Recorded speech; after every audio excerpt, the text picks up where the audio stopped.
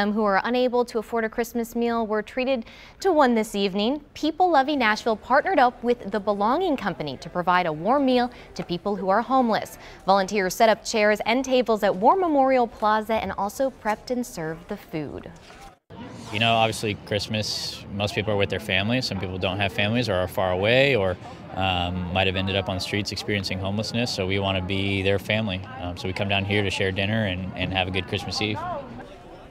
Volunteers do a feeding at this location every Monday. And we're back.